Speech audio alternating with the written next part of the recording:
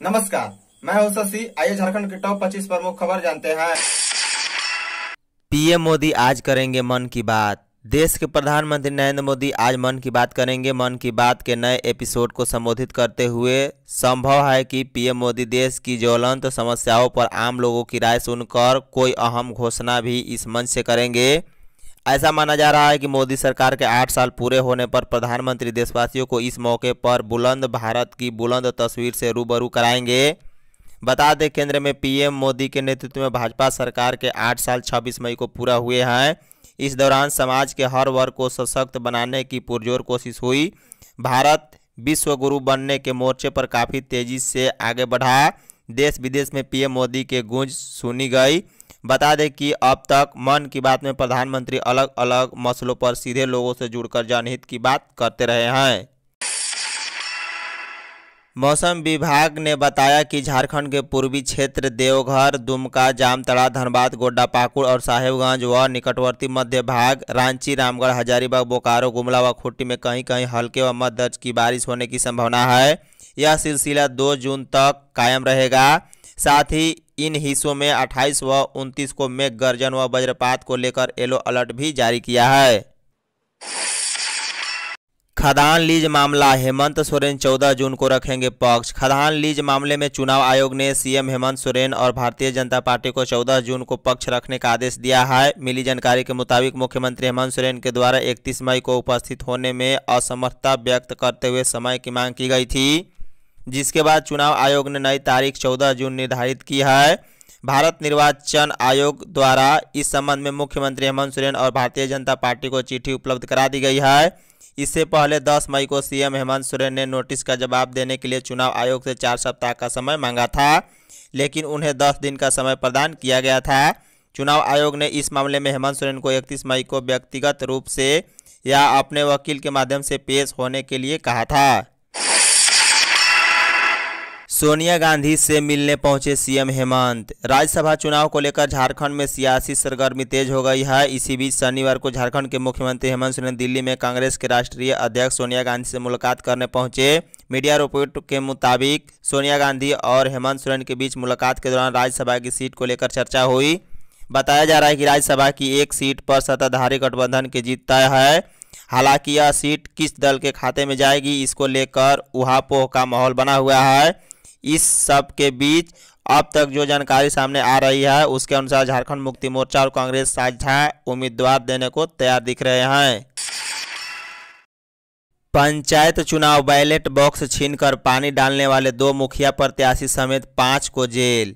पश्चिमी सिंहभूम ज़िले के मझगावा प्रखंड में झारखंड पंचायत चुनाव के चौथे व अंतिम चरण की मतदान प्रक्रिया के दौरान सेक्टर 15 के पूर्ति साई उत्कर्मिक प्राथमिक विद्यालय के बूथ नंबर 100 व 117 पर मतपेटी में पानी डालने के मामले में पुलिस ने कार्रवाई की है। बता दें, दो मुखिया प्रत्याशी समेत पाँच लोगों को जेल भेज दिया गया है। इसमें घोड़ा बाँध पंचायत के मुखिया प्रत्याशी बुधराम हेमरम शामिल हैं। राज्यसभा चुनाव में बीजेपी एक सीट पर लड़ेगी चुनाव, दीपक प्रकाश। प्रदेश कोर कमेटी की बैठक के बाद भाजपा प्रदेश अध्यक्ष दीपक प्रकाश ने कहा है कि भाजपा झारखंड में राज्यसभा के लिए एक उम्मीदवार चुनाव मैदान में उतारेगी। राज्यसभा उम्मीदवार की चर्चा के लिए प्रदेश कोर कमेटी की बैठक सही प्लेटफॉर्म नहीं है। भाजपा को राज्यसभा की एक सीट जीतने में कोई परेशानी नहीं आएगी। बता दें दिल्ली में अनुसूचित जनजाति के विकास के लिए महत्वपूर्ण बैठक हो रही है। इसमें अर्जुन मुंडा, बाबूलाल मरांडी, समीर उरांव, झारखंड प्रभारी दिलीप सैकिया भाग ले रहे हैं। झारखंड का लाल संदीप पाल लद्दाख में शहीद। हजारीबाग शहर के खीरगांव गड़ेरिया मोहल्ला का रहने वाला सेना का जवान संदीप कुमार पाल लद्दाख में हुए हादसे में 27 मई को शहीद हो गया है। घर वालों को फ़ोन पर उनके शहीद होने की जानकारी मिली है। शहीद जवान संदीप के बड़े भाई मनीष पाल ने बताया कि शहीद होने की जानकारी सेना के पदाधिकारी सदीक ने दूरभाष पर दी है। इसकी जानकारी मिलते ही शोक की लहर फैल गई। बता दे, उनके घर पर लोग जमा हैं जो पार्थिव शरीर की एक झलक देखने का आने का इंतज़ार कर रहे हैं। हेमंत सोरेन का जाना तय। बाबूलाल मरांडी, झारखंड के पूर्व मुख्यमंत्री और भाजपा विधायक दल के नेता बाबूलाल मरांडी ने कहा है कि मुख्यमंत्री हेमंत सोरेन और उनकी सरकार का पाप गुहार कर रहा है। पाप का घड़ा फूटने का समय नज़दीक आ गया है, उनका जाना तय है। बाबूलाल ने कहा है कि जैसे जैसे प्रवर्तन निदेशालय ईडी की जाँच आगे बढ़ रही है, सरकार संरक्षित, दलाल, लुटेरा और गंध मचा रहे अफसर बेनकाब हो रहे हैं। उन्होंने कहा कि भ्रष्टाचार पर हो रही ताबड़तोड़ कार्रवाई से आम लोगों में यह उम्मीद जगी है कि उन्हें सरकार, संरक्षित लूट और कुछ अफसरों के राक्षसी तांडव से बहुत हद तक मुक्ति मिलेगी। पूजा सिंघल के लिए जेल में आया गद्दा। रांची के होटवार जेल में बंद निलंबित आईएएस अधिकारी पूजा सिंघल से मिलने उनके अधिवक्ता और रिश्तेदार शनिवार को यहाँ पहुँचे। मुलाकात करने वाले का नाम सुधांशु बताया जा रहा है। उन्होंने मुलाकाती रजिस्टर में अपने नाम की एंट्री रिश्तेदार और अधिवक्ता के रूप में की है। बताया जा रहा है कि पूजा सिंघल के लिए जमानत की अर्जी अदालत में दाखिल करने की तैयारी है। इस वजह से यह अहम मुलाकात हो सकती है। हालाँकि पूजा सिंघल की ओर से किसी तरह की जमानत अर्जी न्यायालय में दाखिल नहीं की गई है। हेमंत सोरेन के चहेते पंकज मिश्रा की चेतावनी। भ्रष्टाचार के संगीन आरोपों निलंबित झारखंड की आईएएस अधिकारी पूजा सिंघल के खिलाफ चल रहे मनी लॉन्ड्रिंग मामले में प्रवर्तन निदेशालय के अनुसंधान के दौरान लगे आरोपों पर झारखंड के मुख्यमंत्री हेमंत सोरेन के विधायक प्रतिनिधि पंकज मिश्रा शनिवार को खुलकर सामने आए। उन्होंने कहा है कि वे किसी कार्रवाई से डरने वाले नहीं हैं। वे जाँच एजेंसी ईडी के बुलावे का इंतज़ार कर रहे हैं। पंकज मिश्रा ने कहा है कि उन पर वे लोग आरोप लगा रहे हैं जो सत्ता से बाहर हैं और बेदखल हैं। विपक्ष का काम ही आरोप लगाना है। आज से रांची में बड़े वाहनों की नो एंट्री। राजधानी रांची में आज से नो एंट्री लागू रहेगा। कांटा टोली फ्लाईओवर निर्माण को लेकर कांटा टोली चौक में भारी वाहनों की नो एंट्री लागू कर दी गई है। कांटा टोली चौक के आसपास भारी वाहन प्रवेश नहीं कर पाएँगे। फ्लाईओवर निर्माण कार्य प्रारंभ होने के बाद कांटा टोली चौक पर लग रहे जाम को देखते हुए ट्रैफ़िक पुलिस ने यह बड़ा फैसला लिया है। ट्रैफ़िक पुलिस की ओर से इसका आदेश जारी कर दिया गया है। भारी वाहन के प्रवेश पर रोक का आदेश रविवार रात को प्रभावी है। कांग्रेस को राज्यसभा सीट देने पर राज़ी हुए सीएम हेमंत। कांग्रेस को राज्यसभा सीट देने पर हेमंत सोरेन राज़ी हो गए हैं। समाचार एजेंसी एएनआई के सूत्रों के हवाले से खबर दी गई है कि कांग्रेस अध्यक्ष सोनिया गांधी से मिलने पहुँचे झारखंड के मुख्यमंत्री हेमंत सोरेन ने कांग्रेस को राज्यसभा सीट देने पर सकारात्मक रुख दिखाया है। झारखंड के मुख्यमंत्री हेमंत सोरेन ने कांग्रेस प्रमुख सोनिया गांधी से मुलाकात के क्रम में राज्य के वर्तमान हालात और राज्यसभा चुनाव में राजनीतिक स्थिति पर करीब एक घंटे तक चर्चा की। ज्ञान प्रकाश ने बैंकों को 75 करोड़ का लगाया चुना। बैंक ऑफ़ इंडिया व यूनाइटेड बैंक ऑफ़ इंडिया को 75 करोड़ रुपए का चुना लगाने के मामले में मनी लॉन्ड्रिंग एक्ट के तहत अनुसंधान कर रही प्रवर्तन निदेशालय ने रांची के कांड के रोड निवासी बिल्डर ज्ञान प्रकाश सरावगी सहित 10 आरोपियों के खिलाफ ईडी की रांची स्थित विशेष अदालत में चार्जशीट दाखिल की है। अन्य आरोपियों में ज्ञान प्रकाश सरावगी का चार्टर्ड अकाउंटेंट अनीस अग्रवाल, अमित सरावगी, अभिषेक अग्रवाल व उनकी छह कंपनियाँ शामिल हैं। पढ़ाई में किस जाति के विद्यार्थी कर रहे कैसा प्रदर्शन? रिपोर्ट जारी। राज्य में झारखंड एकेडमिक काउंसिल की मैट्रिक परीक्षा में ओबीसी श्रेणी के विद्यार्थियों का सबसे बेहतर परिणाम रहता है। पिछले साल की परीक्षा में इस श्रेणी के विद्यार्थियों के इस परीक्षा में उत्तीर्ण होने का प्रतिशत अन्य श्रेणी के विद्यार्थियों से अधिक था।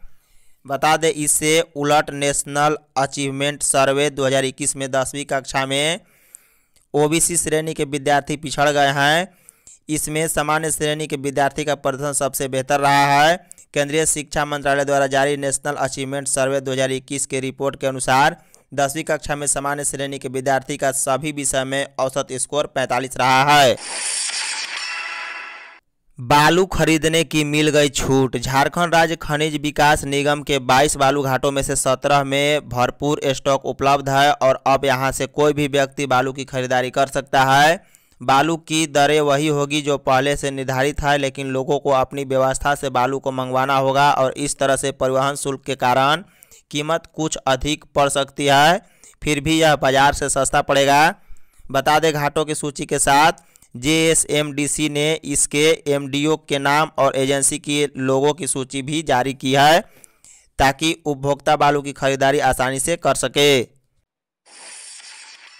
बिरसा मुंडा विश्वास रैली पाँच जून को। केंद्रीय मंत्री अर्जुन मुंडा ने कहा है कि प्रधानमंत्री नरेंद्र मोदी के नेतृत्व में आठ साल के कार्यकाल में विकास यात्रा तेज़ी से आगे बढ़ी है। गाँव का लक्ष्य रखकर अंत्योदय के सपने को साकार किया जा रहा है। उन्होंने कहा है कि प्रधानमंत्री ने ही भगवान बिरसा मुंडा के संघर्ष और जनजातीय महापुरुषों के गाथा को राष्ट्रीय जनजातीय गौरव दिवस के रूप में पहचान दी। अब देश के साढ़े दस करोड़ आदिवासी परिवारों को ध्यान में रखते हुए पाँच जून को भगवान बिरसा मुंडा की भूमि पर बिरसा मुंडा विश्वास रैली का आयोजन किया जा रहा है। हेमंत सोरेन को सत्ता से हटाए बिना चैन नहीं सोएँगे दीपक प्रकाश। हजारीबाग भाजपा के प्रदेश अध्यक्ष दीपक प्रकाश ने मुख्यमंत्री हेमंत सोरेन के नेतृत्व में चल रही सरकार को उखाड़ फेंकने का आह्वान भाजपा कार्यकर्ताओं से किया है। हजारीबाग में आयोजित भाजपा की प्रदेश कार्य समिति बैठक में उन्होंने पार्टी कार्यकर्ताओं को संकल्प दिलाया कि वे राज्य सरकार की जन विरोधी नीतियों के खिलाफ संघर्ष जारी रखें और नकेल कसे। कहा, हम जब तक इस सरकार को सत्ता से बाहर नहीं करेंगे, तब तक चैन की नींद नहीं सोएँगे।